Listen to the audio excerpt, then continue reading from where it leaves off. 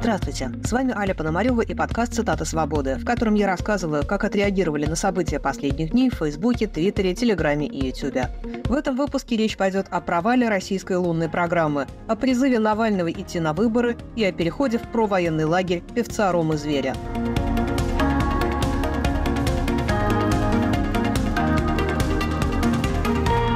10 августа Россия запустила к Луне автоматическую межпланетную станцию под названием «Луна-25». Станция должна была выйти на орбиту Луны и отправить на ее поверхность спускательный аппарат. Российские официальные и патриотические блогеры писали по этому поводу восторженные посты. Целую оду написал один из идеологов путинизма Александр Проханов. В системе российских коммуникаций появился новый маршрут – Благовещенск-Луна. По этому маршруту с космодрома Восточный отправилась большая ракета, несущая к Луне аппарат, изучающий множество лунных характеристик – лунной поверхности, лунного притяжения, лунного климата, лунного грунта, лунного излучения и еще чего-то лунного, о чем умалчивают сводки новостей. Этот старт – начала новой российской лунной программы, второе пришествие России на Луну.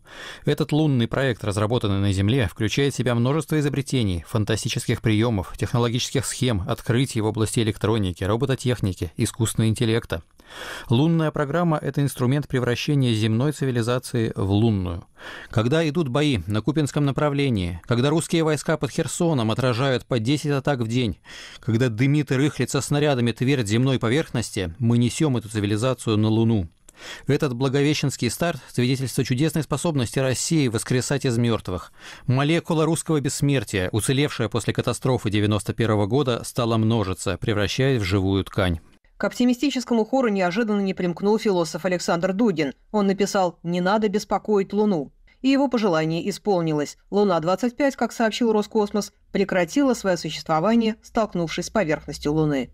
Это логичный финал для российской космической отрасли, насквозь пронизанной коррупцией, говорит на своем канале оппозиционный политик Максим Кац. Отправить двухтонную табуретку за 400 тысяч километров и посадить ее на ровное место, которого с Земли даже не видно, задача архисложная. В космических делах аварии неизбежны. Это нормальный путь прогресса. Но ненормально, когда об очевидной поломке национального важного проекта людям не сообщают почти два дня. Когда большие чиновники, не желая приносить плохие новости, до последнего скрывают новость о крушении лунной станции. Ненормально, когда в стремлении переложить на других ответственность корпорация «Роскосмос» вновь проявила себя как государственная система в миниатюре – Конечно, уже сформирована особая комиссия из коллективных Рогозиных, которая жестко и строго возьмет ситуацию на личный контроль.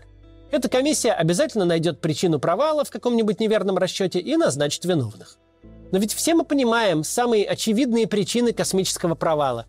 Этим причинам уже много лет, и все они связаны с коррупцией, утечкой мозгов и распильным финансированием. Похожие выводы делают и другие блогеры. Александр Горбунов, Единственное, что никогда не собьется с курса и в космосе точно не потеряется, это бюджетные деньги.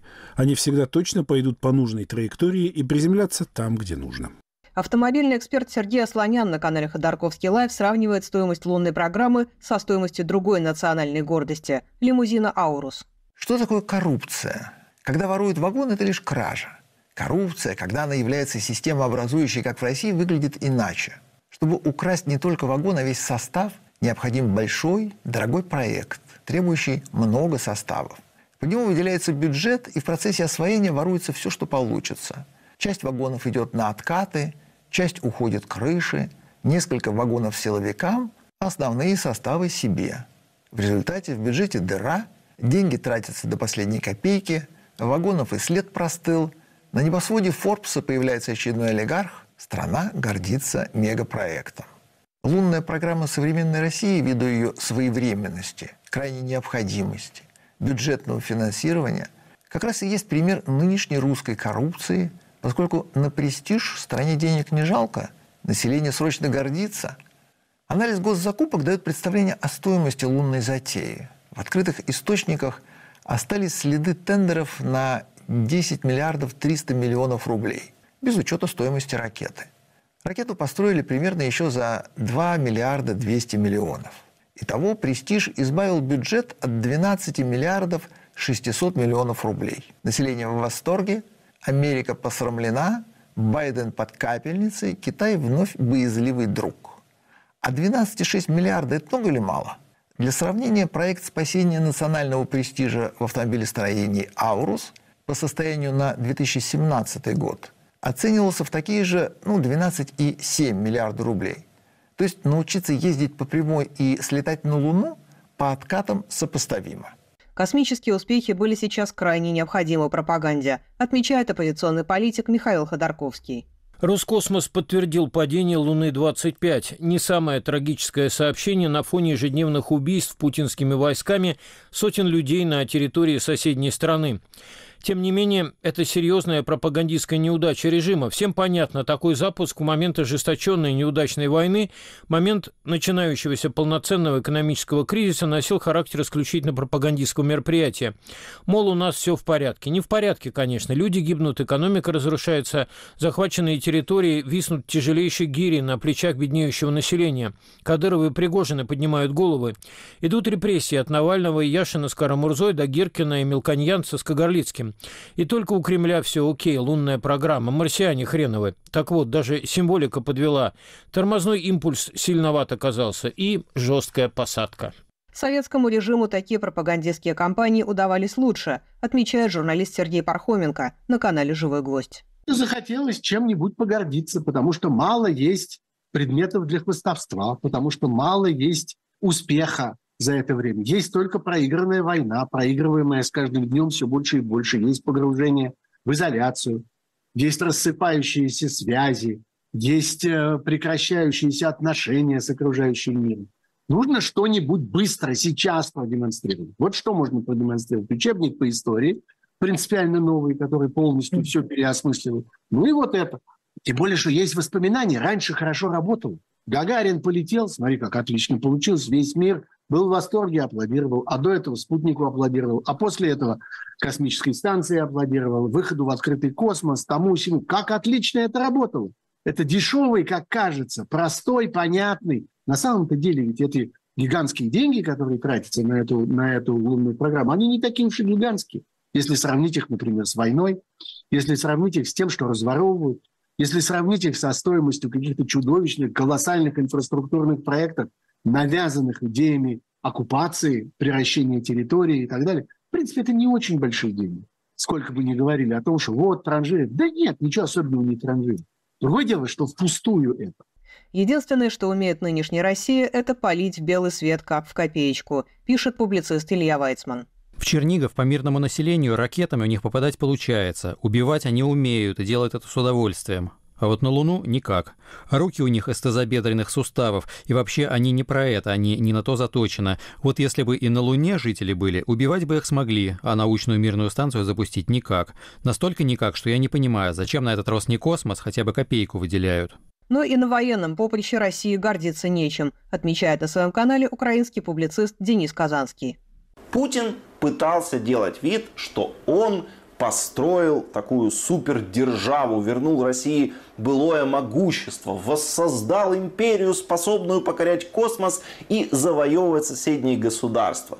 Но реальность показала, что все это абсолютный фейк и расставила все по местам. Вторжение в Украину позорно провалилась. Россия показала, что она ни на что не способна, увязла в бессмысленной позиционной войне. Российская пропаганда рассказывала, что Украина ни на что не способна, что она несколько дней даже не продержится. Украину высмеивали. В итоге против этой Украины, которую высмеивали, ничего сделать не смогли, зашли в тупик. Освоение космоса также позорно провалилось. То есть не смогли повторить даже достижения СССР 1976 года. Тогда СССР успешно отправил на Луну такой летательный аппарат, Путинская Россия сделать это не смогла. То есть все события подтверждают, что нынешняя Россия это слабое, отсталое государство.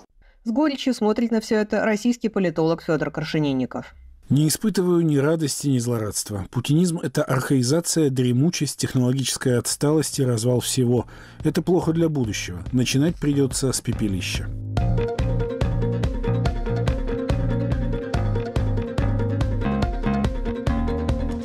Вами Аля Пономарева, и вы слушаете подкаст «Цитата свободы», в котором я два раза в неделю пересказываю вам самые интересные и важные сетевые дискуссии. Продолжим через минуту. Оставайтесь с нами. Говорит Радио Свобода. Круглосуточный прямой радиоэфир и аудиотека лучших программ и подкастов «Свободы» на YouTube-канале «Радио Свобода Live». Радио «Свобода» на экране твоего монитора, в твоем мобильном и в твоих наушниках. YouTube-канал «Радио Свобода Live». Твой YouTube обретает знакомый голос.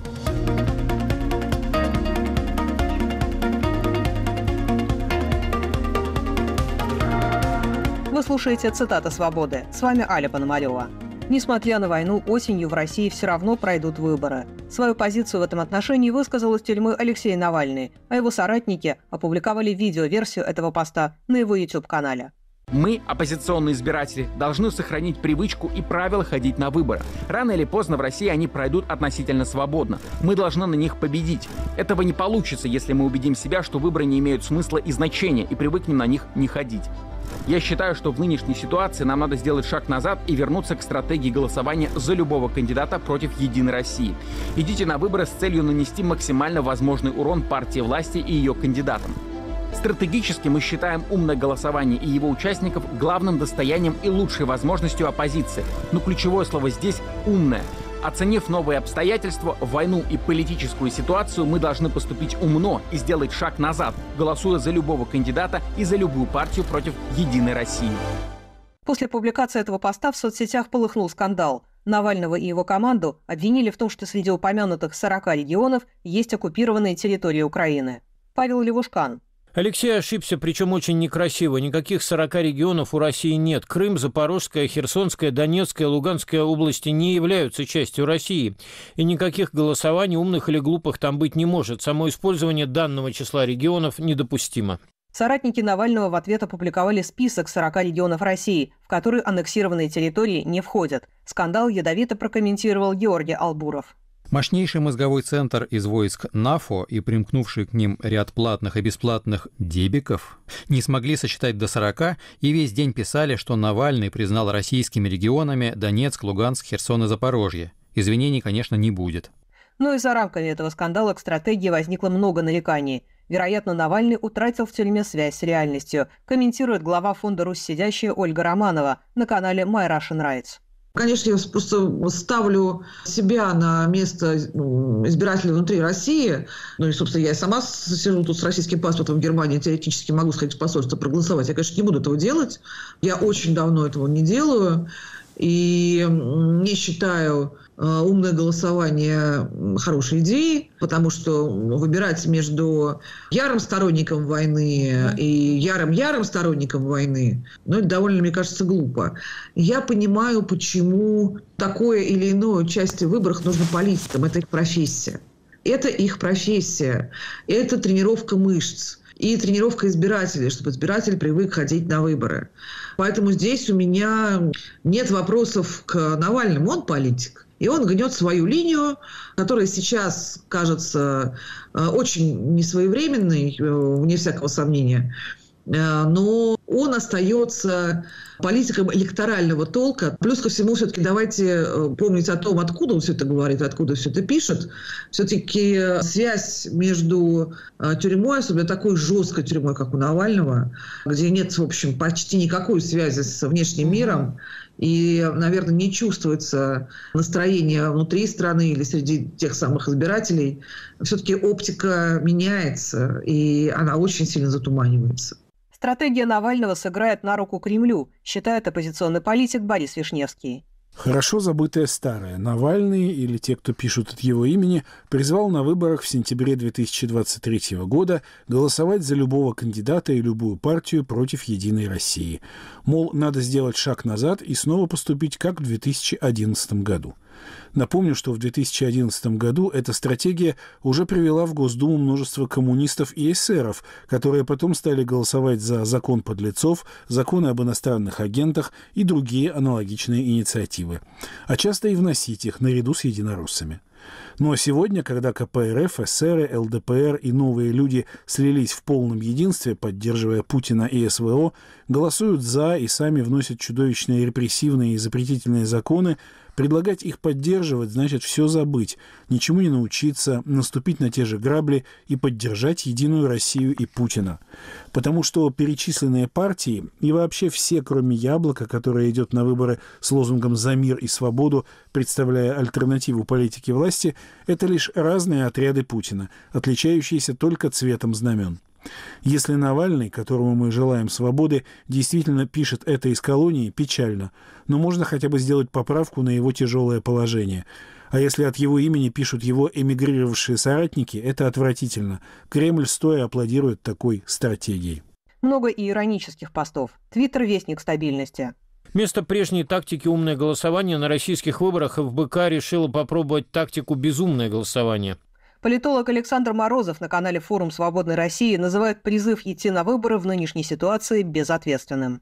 Если громко говорить «идите на выборы», то в такой ситуации, понимаете, это несколько анекдотично. До 24 э, февраля там, до начала агрессии. А это, может быть, еще, так сказать, и выглядело как какая-то форма там, сохранения энергии, гражданской активности. Может быть, потом это пригодится. Но с началом войны это все звучит совершенно как детский сад и никакого отношения там, к сохранению гражданского общества уже не имеет.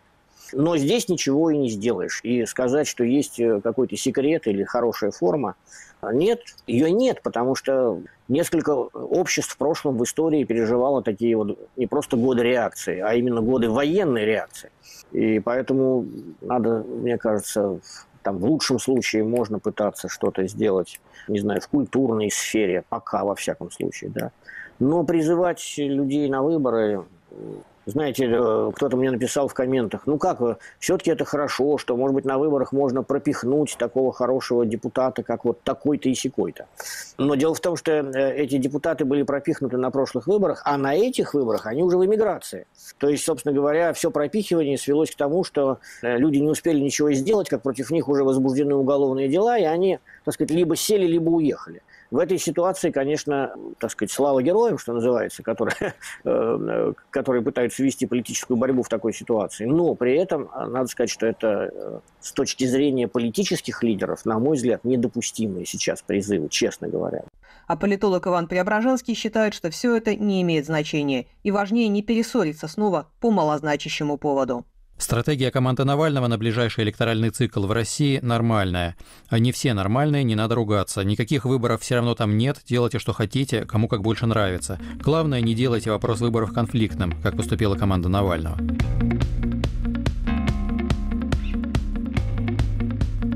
Вы слушаете «Цитаты свободы» – подборку мнений из самых интересных дискуссий в социальных сетях. С вами Аля Пономарева.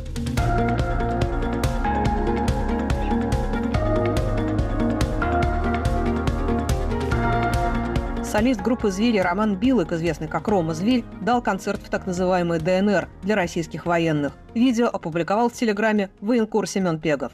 Многие были уверены, что Билык занимает антивоенную позицию. Посты с осуждением вторжения в Украину появились в соцсетях группы «Звери» еще в феврале 2022 года. Некоторые комментаторы предполагают, что певец мог переобуться под давлением спецслужб. Роман Супер. Так-то пройдет немножко времени, и мы поймем, что Рому Зверя в заложники взяли. Максим Мирович. Скорее всего, чекисты нашли подход к зверю. Как правило, это или угроза, или обещанный большой куш. На какое-то из этих двух предложений Роман и купился. Певица Мария Максакова на канале Александра Плющева считает, что поп-певцам дурит голову спецслужбы с помощью ясновидящей, которые все они ходят за советами. Террор среды, в котором там они находятся, ну как вам сказать, оттуда надо, с моей точки зрения, было уезжать. Те, которые там остались, подвержены целому ряду факторов, порождающих психозы. Это, кстати, у них видно на их э, физиономиях, на их спитых, перекореженных рожах. То есть, э, например, они ходят все повально какой-то одной ведуньи значит, ясно слышащий, ясно видящий, ясно стуч, стучащий. Значит, она сообщила, это такой, знаете, еще эксперимент э, со времен КГБ, очень развиты, и у них вообще все на карандаше были, которые пусть шарлатаны или кто там какие-то действительно паранормальные способности вроде проявлял, но кто бы, кто бы то ни был, э, этим занимался отдельный отдел. И что касается, допустим, самого, наверное, знаменитого кейса с Джуной, есть ее фотографии, как она делится, видимо, опытом по одурачиванию, оболваниванию паствы с эм, агентом Михайловым э, Гундяевым в миру по кличке Патриарх Кирилл ныне. Ну вот э, она тоже, видимо, сообщала нужные кому надо, инструкции под видом э, пришедших озарений. А вот такая же ведунья, э, значит, к ней всем, всем скопом ходила вся песня года в перерывах между золотым граммофоном, видимо, и, в общем, она им сообщала такую значит, выработанную в администрации президента сентенцию, что это все надолго, это все на 20 лет, не меньше, поэтому вам надо адаптироваться. Вот они по мере, значит, эм, своих, э, ну, так скажем, черных каких-то качеств адаптировались с разной скоростью. Есть и те, кто считают поступок Ромы Зверя чистосердечным. Евгений Беляев. Для меня с этим зверем, наоборот, все встало на места. Скорее было супер удивительно его участие в Серебренниковском фильме и то, как талантливо он там сыграл. В мае 23 года был отменен концерт группы «Звери» в Санкт-Петербурге на Международном экономическом форуме, возможно, в том числе из-за антивоенных постов в соцсетях группы. Сейчас эти посты удалены. Многие блогеры уверены, что музыкантам просто не захотелось сидеть на голодном пайке. Михаил Козырев. Хотелось верить, что человек пошел на такой поступок под воздействием обстоятельств непреодолимой силы. Угроза тюрьмы, близкие в заложниках, опасность, что закроют. Что еще может заставить артиста, декларирующего позицию против войны, пойти дорогой Пореченкова? Что еще может заставить человека обеспеченного, успешного, явно востребованного в разных странах, отказаться от пути, по которому пошли Би-2 и многие другие, и выбрать пятно на своей репутации, которое теперь никогда не отмоешь? Не могу утверждать со стопроцентной уверенностью, но, сопоставляя события и факты, уверен, что ответ, увы, банален и прост. У «Зверей» группы из черного списка стадионный концерт на ВТБ-арене в эту субботу. Поездка в зону СВО – плата за этот стадион. И все. Здесь может быть длинное рассуждение о любви к родине, о том, что мои слушатели здесь, о том, что моя страна может быть не права, но я должен быть с ней. Я слышал это все много раз. Война показала, у кого есть совесть, а у кого нет. И всем нам теперь с этим жить. Рома не злодей, он просто конформист. Злодеи те, кто принудил его сделать этот выбор. Нет никакой ненависти к Роме, есть разочарование и горечь. В корыстных мотивах подозревают Рому Зверя и патриоты. Аким Апачев – Всегда говорил, повторю еще раз, я таким не верю, я таких презираю. Вчера он был против нас, сегодня за, завтра этот нехороший человек предаст вас при первой возможности. Очень жаль, что уважаемые подразделения встречают этих патриотов хлебом-солью. Другие лоялисты решили считать, что зверь искренне раскаялся и что переход блудного сына в провоенный лагерь можно только приветствовать. Сергей Мордан, Рома Зверь – уроженец Мариуполя. Несложно понять метаморфозу, которую пережил этот человек. Сначала ужас от того, что происходит на его родине, потом... А вот потом уроженец Донбасса естественным образом рассмотрел, почему его земляки воюют против ВСУ с такой яростью, потому что они воюют с врагом, а быть на стороне своих – это вообще очень естественное состояние. По стопам Ромы Зверя направился и рэпер Алишер Валеев, известный как Моргенштерн. Он попросил прощения, сказал, что скучает по России и пообещал больше не работать на Америку. Вероятно, настал момент, когда деятели культуры стали требовать, чтобы они более отчетливо выступали в поддержку Кремля, пишут в блогах. Иван Филиппов. Захар Прилепин и прочие Z-авторы, пишущие о культуре, не зря ежедневно ныли о том, что российская культура, что музыка, что кино, что литература не поддержала войну. Что подавляющее большинство актеров, музыкантов и режиссеров не высказались в поддержку вторжения, не зиганули – кто-то уехал, кто-то попытался отмолчаться. Довольно очевидно, что период комфортного молчания подходит к концу, и делать это теперь будет существенно сложнее. Съездили на Донбасс Павел Деревянко и Рома Билык. Отправил гуманитарную помощь Павел Табаков. Это все первые ласточки. Сейчас таких историй станет больше. Очевидно, око государева обратилось, наконец, на культуру. И важно понимать, что кроме понятного кнута, профилактических бесед в Минкульте, звонков из центра Э, уже десятки таких историй, государство предлагает молчащим и очень существенный пряник. Государству обратившийся грешник, то есть переобувшийся либерал, выступавший против войны, в тысячу раз ценнее, чем искренне с первого дня зигующий зетовец. Перед переобувшимися сейчас откроются немыслимые ранее возможности. Для многих, полагаю, это станет серьезным аргументом. Другим же будут угрожать выдавить из профессии или из страны. Тоже подействует. По возможности и те, и другие будут выбирать наиболее компромиссный вариант – сделать что-нибудь гуманитарное для раненых или пострадавших, не говорить вслух о киевских нацистах и не поддерживать именно войну. А дальше, дальше будут президентские выборы, и Владимиру Путину понадобятся новые доверенные лица. И возможности отказаться станет значительно меньше. В условиях, когда сотрудничать с российскими властями становится намного проще, чем сопротивляться, нужно ценить и поддерживать каждого артиста, который этого не делает, говорит на своем канале редактор «Репаблик» Дмитрий Колезев. Вопрос поддержки войны известными артистами, музыкантами, писателями, поэтами очень важен для военной пропаганды. Вроде бы, ну, так ли значительно, что там Макаревич, Пугачева или Бутусов думают о войне в Украине? Но они же не политики. Однако известные артисты не только обладают большой аудиторией преданных поклонников, но и выполняют функцию носителей морали. С их мнением считаются, поэтому их позиция важна. Режим Путина поэтому тратит немало сил на то, чтобы продемонстрировать поддержку войны творческими людьми. Вообще, если мы в целом окинем взглядом ситуацию на музыкальной сцене, то мы увидим, что на самом деле огромное количество талантливых артистов не поддерживает войну. Вот где настоящий раскол. Помимо уже упомянутых, это Гребенщиков, Земфира, Макаревич, Шевчук, Ногу свело, Каста, Оксимирон, Дельфин и многие другие. Так что как бы ни старалась российская власть, как бы ни пыжились Z-активисты, пропагандистский тезис о том, что наше дело поддерживают художники, пока приживается плохо. Кстати, мы как публика вполне можем повлиять на ситуацию. Поддерживайте антивоенно настроенных артистов в соцсетях. Говорите им слова благодарности в комментариях. Слушайте больше их музыки в стримингах. Покупайте их мерч. А если вы за границей, ходите на их концерты антивоенно настроенных русскоговорящих людей десятки миллионов, даже по самым скромным подсчетам. И вместе мы вполне можем удержать на плаву честных артистов, которые не предали идеи мира, свободы и гуманизма. По-моему, только на таких идеях и может стоять настоящее искусство.